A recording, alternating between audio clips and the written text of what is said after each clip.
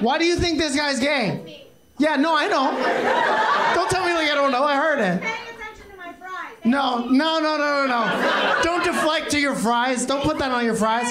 They seem gay. Why? Because they're fing next to each other? Why? Because his earrings are a little bit dangly as f- Nick, stand up real quick. That's a gay guy. This is a gay.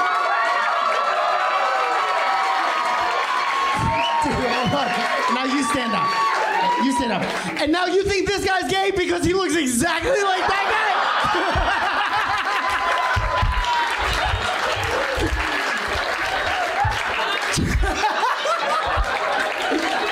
guy. Don't judge a book by the cover. Even if the cover says this book